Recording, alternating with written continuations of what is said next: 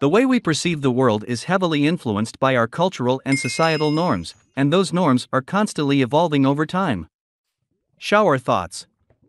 If we could record our dreams and watch them later, it would be like having a personal movie theater in our minds. The concept of time is both fascinating and frustrating because it's something we can't control, but it controls everything we do.